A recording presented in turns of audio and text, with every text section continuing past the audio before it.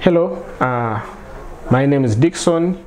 On behalf of Humanity Direct, I present to you Sekaiwa Frederick, a four and a half years old boy with uh, a right inguinal hernia. This condition is uh, not good for the little boy because it has brings painful episodes. Uh, is under the care of the paternal uncle who is poor and unable to pay for quite surgery. We are seeking for support to see that uh, Frederick can undergo an iotomy procedure to fix the problem for her to live a healthier life.